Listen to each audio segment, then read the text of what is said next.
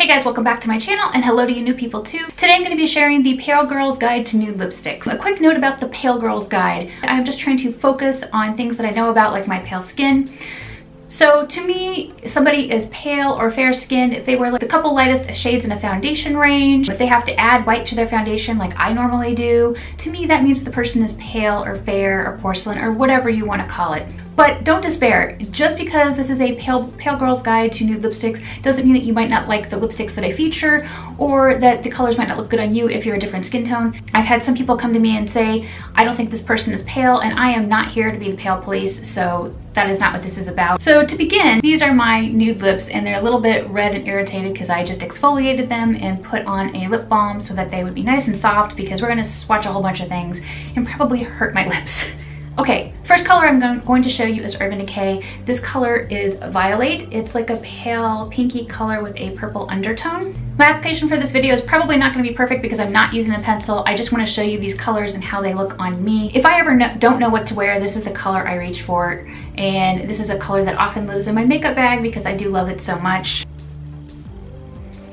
If you just want like a nice clean look with just, you know, a little bit of mascara or your brows done, I would also recommend this color. It's a very office safe color, but I feel like it's because it has like that purple undertone, it has like a little bit of a fun twist to it, so I love it. This is one of my must-have lipsticks from Urban Decay. The next color from Urban Decay is Backtalk, and this is kind of like a pale light pink color. There's also a shade very similar to this in the NARS line. I believe it's called Anna. It's, on me, I feel like it looks sort of like a pink that's a little bit dusty. It's a matte finish. Until Violate came out, this was my go-to Urban Decay color when I didn't know what to wear. Basically, this is Anna and this is Violate, and this one just has more of like a warmer pink to it. So the next color I want to show you is NARS Stripped. This is in the Velvet Lip Glide formula. On me, it's like a pale peachy nude.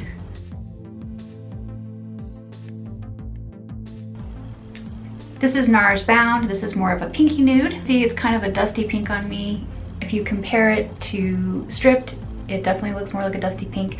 I really like the shine in this. When the shine wears off, you're left with sort of like a more matte, satin matte stain.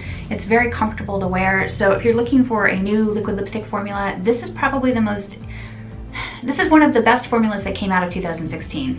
This is Sugarpill Kimchi. So if you are fond of the I just died like that lip color, this is for you. I really like this color. It's kind of like a gray lavender and it's actually apparently the color my lips turn when I black out and have a seizure.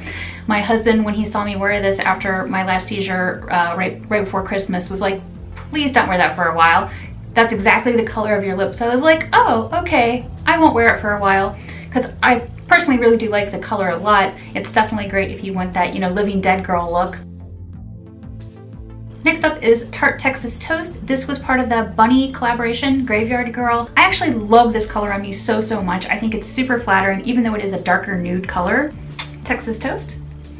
You can see that it's basically like a pink that has some brown tones to it and even a little bit of a gray undertone. So the next set of colors are from the Bare Minerals Gen Nude line and these are all pretty much fantastic. They are very moisturizing on the lips. They are not very long wear. So, you know, you're gonna need to use a lip pencil with them, but you will love how they feel on your lips. And pretty much, I think all the colors look fantastic. So this is Bubbles, and it's like a peachy pink nude. And after all the swatching I just did, this feels like heaven on my lips. It's just such a nice color, um, so moisturizing. You can see it on the back of my hand.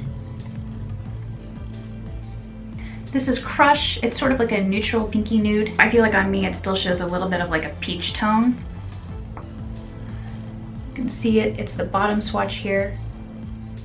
This one is Tutu. This one can work as like a My Lips But Better. Like it has a hint more pink to it that I think more closely matches my lip color. Put it here as the bottom swatch. This is Crave. And Crave has like a the barest hint of like mauve to it or mauve, whatever you want to call it. And here it is down here on my hand. This one is Mantra, and I think it's like a deeper mauve pink. It's the bottom swatch here. So the next one is from Nudestix. I absolutely love this color. It's called Pulse. It's sort of like a plummy nude. Again, it's on the hydrating side, and I feel like if you want something super easy for if you're just like, you know, running out the door, this is a great color. It's also perfect if you have a smoky eye going on because it gives you just a little bit of like depth Here's what it looks like on my hand. Oh, I forgot. I did want to show you two of the other uh, Bare Metals Gen Nudes. These are the matte liquid lip colors. They smell delicious. They smell kind of like a vanilla or chocolate frosting. This color is Slay, and this is probably the most comfortable, long-wearing liquid lipstick formula you will ever try. It's even more comfortable than the Jouer, which I, I do love, absolutely love. And so this is Slay in the back of my hand. And God, the smell. It makes me hungry. It makes me want cake. So this one is Swag. And Swag is basically a deeper version of Slay. So here is Swag on my hand.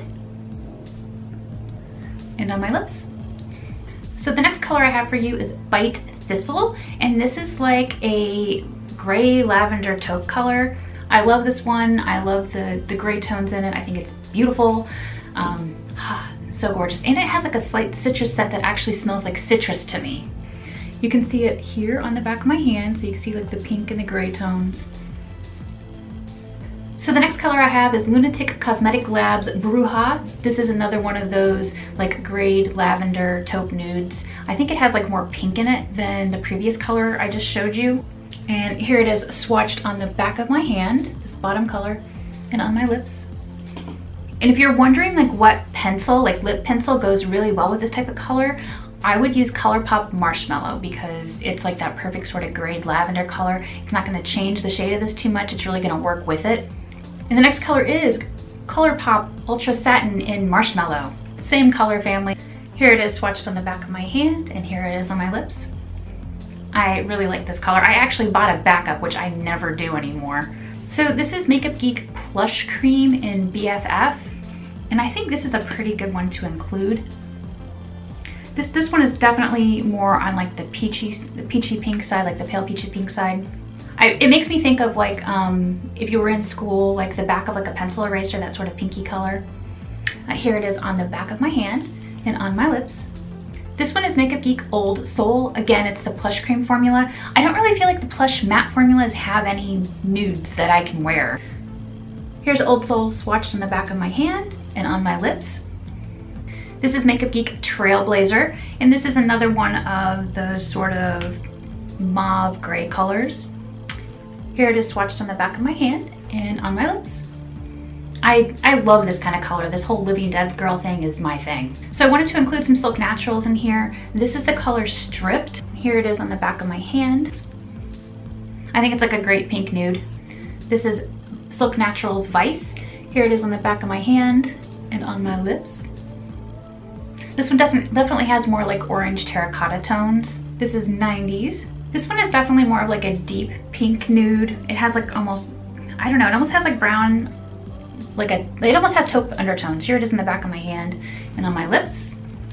This last Look Naturals color is Underground. And here it is swatched on the back of my hand, right here. You can see it's kind of like a gray-brown taupe and on my lips. My lips are dying and I'm already starting to break out from the constant like reapplication and wipe off. Next up is Jouer Tawny Rose. This is such a beautiful color and I, I bought it not even sure if it was gonna be great on me.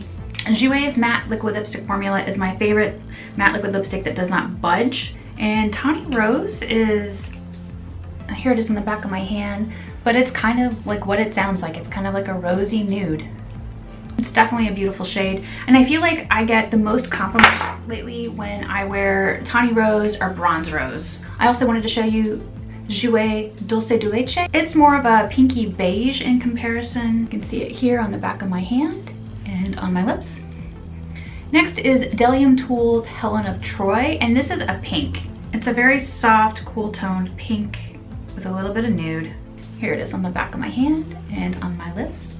And last I have three Ofra shades for you. The first one is Angelus. This is probably about the closest I can get to concealer, concealer lips.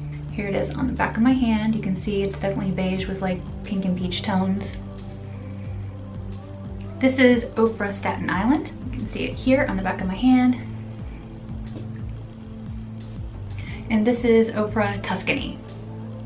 Here's on the back of my hand and on my lips. This is probably the deepest of all the nudes. It's like this deep mauve pink nude with like gray brown undertones. So anyway, I hope you enjoyed seeing my picks for the best nudes for pale skin. please be sure to let me know what you think in the comments below. If you found this video helpful or informative, please give it a thumbs up and share. I love it when you share my videos. And if you haven't already, go ahead and click the subscribe button so you don't miss my next video.